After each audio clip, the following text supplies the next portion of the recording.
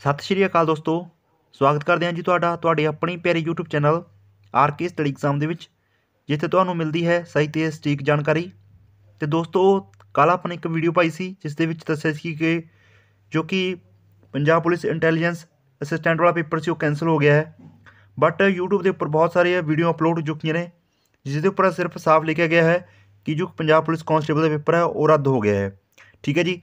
ਇਸ ਕਰਕੇ ਬਹੁਤ ਸਾਰੇ ਸਟੂਡੈਂਟ ਨੇ ਜੋ ਕਮੈਂਟ ਕਰ ਰਹੇ ਨੇ ਇੰਸਟਾਗ੍ਰam ਉੱਤੇ ਫੇਸਬੁੱਕ ਉੱਤੇ ਬਾਰ-ਬਾਰ ਕਮੈਂਟ ਆ ਰਹੇ ਸੀ, ਠੀਕ ਹੈ ਜੀ? ਤਾਂ ਮੈਂ ਉਹਨਾਂ ਬਾਰੇ ਦੱਸਣਾ ਚਾਹੁੰਦਾ ਕਿ ਜੋ ਪੰਜਾਬ ਪੁਲਿਸ ਕਾਂਸਟੇਬਲ ਦਾ ਪੇਪਰ ਹੈ, ਠੀਕ ਹੈ ਜੀ, ਜਿਹੜਾ ਕਿ ਆਪਣੇ 4300 ਦੇ ਲਗਭਗ ਪੋਸਟ ਆਈ ਸੀ, ਉਹ ਕੈਨਸਲ ਨਹੀਂ ਹੋਇਆ ਠੀਕ ਹੈ ਜੀ?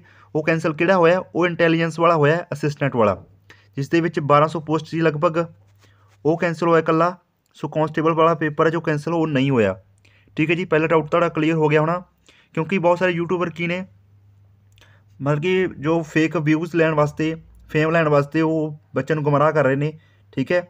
ਕੱਲਾ ਹੀ ਕਾਂਸਟੇਬਲ ਲਿਖ ਰਹੇ ਨੇ।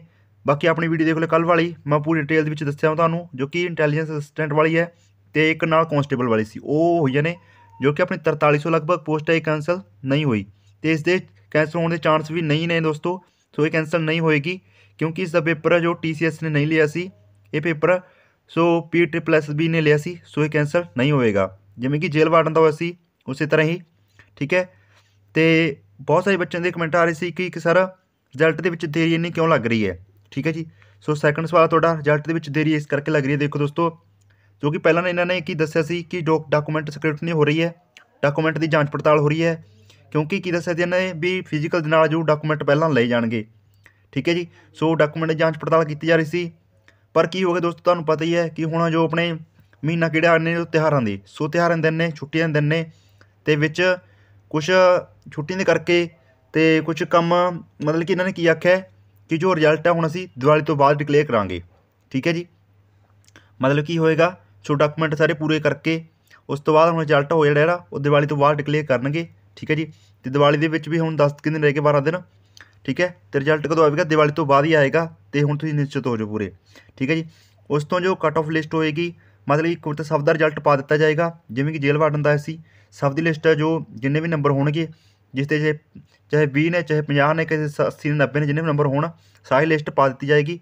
ਉਸ ਤੋਂ ਬਾਅਦ ਹਫ਼ਤੇ 10 ਦਿਨਾਂ ਦੇ ਬਾਅਦ ਇੱਕ ਕੱਟ ਆਫ ਲਿਸਟ ਪਾ ਦਿੱਤੀ ਜਾਵੇਗੀ, ਜਿਹੜੀ ਕਿ ਤੁਸੀਂ ਜਿਹਦੇ ਵਿੱਚ ਮੈਟ ਦੇ ਵਿੱਚ ਆਏ ਜਾਂ ਨਹੀਂ, ਤੇ ਮਤਲਬ ਫਿਜ਼ੀਕਲ ਦੇ ਲਈ ਤੁਹਾਨੂੰ ਕੁਆਲੀਫਾਈ ਕਰ ਦਿੱਤਾ ਜਾਏਗਾ।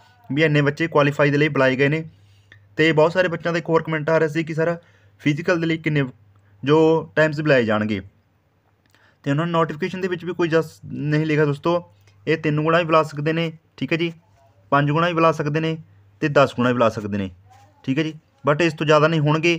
ਬਸ ਇਹ ਤੱਕ ਹੱਦ ਹੈ ਤੇ ਹੁਣ ਉਹ ਆਪਣੇ ਫਿਜ਼ੀਕਲ ਤੇ ਡਿਪੈਂਡ ਕਰਦਾ ਹੈ, ਇਹਨਾਂ ਦਾ ਕਿੰਨੇ ਅਰਾਊਂਡ ਦੇ ਵਿੱਚ ਇਹ ਬੁਲਾਉਂਦੇ ਨੇ, ਠੀਕ ਹੈ? ਉਸ ਤੋਂ ਬਾਅਦ ਹੀ ਕੱਟ ਆਫ ਲਿਸਟ ਬਣੇਗੀ ਜਿਹਨੇ ਕਿ ਉਹ ਫਿਜ਼ੀਕਲ ਕਲੱਬ ਕੁਆਲੀਫਾਈ ਕਰਨਗੇ, ਠੀਕ ਹੈ? ਉਸ ਤੋਂ ਬਾਅਦ ਪਹਿਲਾਂ ਆਪਾਂ ਉਹ ਵੀ ਨਹੀਂ ਕੱਟ ਆਫ ਵੀ ਨਹੀਂ ਤੈਅ ਕਰ ਸਕਦੇ ਵੀ ਕਿੰਨੀ ਜਾ ਸਕੇਗੀ, ਕਿਉਂਕਿ ਜਿਵੇਂ ਕਿ ਜੇਲ੍ਹ ਵਾਰਡਨ ਦੇ ਵਿੱਚ ਸੀ, ਉਸੇ ਤਰ੍ਹਾਂ ਹੀ ਇਸ ਦੇ ਵਿੱਚ ਪਹਿਲਾਂ ਆਪਣਾ ਫਿਜ਼ੀਕਲ ਲੈ ਕੇ ਉਸ ਤੋਂ ਬਾਅਦ ਹੀ ਕਟ ਆਫ ਲਿਸਟ ਬਣੇਗੀ। ਠੀਕ ਹੈ ਜੀ? ਤਾਂ ਬੇੜਾ ਬੇਜੰਤ ਹੋ ਜੇ ਦੋਸਤੋ, ਤਾਂ ਜਿਹੜਾ ਕਾਂਸਟੇਬਲ ਪੇਪਰ ਹੈ ਰੱਦ ਨਹੀਂ ਹੋਏਗਾ। ਇਹ ਤੁਹਾਡੀ ਤਿਆਰੀ ਕਰਦੇ ਰਹੋ ਤੁਸੀਂ। ਤੇ ਜਿਹੜੇ ਬਾਕੀ ਪੇਪਰ ਨੇ ਇੰਟੈਲੀਜੈਂਸ ਵਾਲੇ, ਉਹਨਾਂ ਦੀ ਵੀ ਤਰੀਕ ਆ ਸਕਦੀ ਹੈ, ਇਹ ਨਾ ਸੋਚੋ, ਕਿਉਂਕਿ ਹਲੇ ਪਏ ਨੇ, ਹਲੇ 2 ਦਿਨ ਮੰਥ ਆਪਣੇ ਕੋਲ। ਤੇ ਜੇਕਰ ਹਫ਼ਤੇ 10 ਦਿਨਾਂ 15 ਦਿਨ ਵਿੱਚ ਕੋਈ ਨੋਟਿਸ ਕੱਢਦੀ ਹੈ ਸਰਕਾਰ, ਮਤਲਬ ਕਿ ਪੇਪਰ ਲਿਆ ਜਾ ਸਕਦਾ ਹੈ, ਤਾਂ ਲੈ ਵੀ ਸਕਦੀ ਹੈ ਦੋਸਤੋ, ਤਿੰਨ ਚਾਰ ਦਿਨ ਦੇ ਪੇਪਰ ਵੀ ਲੈ ਵੀ ਸਕਦੀ ਹੈ। ਐਡੀ ਗੱਲ ਨਹੀਂ ਹੈ। ਤੇ ਬਾਕੀ ਅੱਗੇ ਵੀ ਪੇਪਰ ਹੋਣੇ ਨੇ, ਤੁਹਾਨੂੰ ਪਤਾ ਹੀ ਹੈ। ਤੇ ਜਿਹੜਾ ਨੋਟੀਫਿਕੇਸ਼ਨ ਆ ਚੁੱਕਿਆ ਹੁੰਦਾ ਸਰ ਪੇਪਰ ਲੈਣੇ ਲੈਣੇ ਨੇ।